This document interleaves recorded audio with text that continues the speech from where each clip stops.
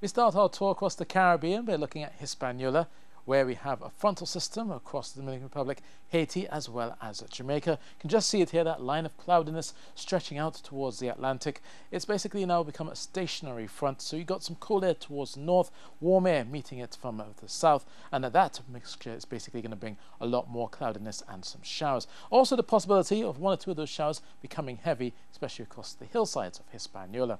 So no surprise then, we'll keep those showers for Port-au-Prince and Santo Domingo as we go through Thursday. Should begin to clear Port-au-Prince by Friday, but hang around across Santo Domingo as we start the weekend. And for Jamaica, they also will be seeing those showers. At 30 degrees Celsius, it will feel comfortable, but some of those showers, especially across the hillsides, could also turn heavy, and there's also the isolated thunderstorm likely in some areas.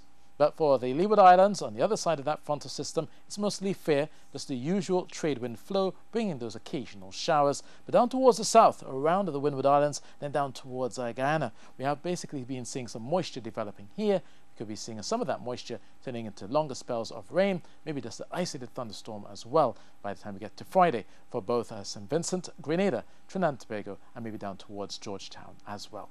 So that's your Caribbean forecast, and that's it from me.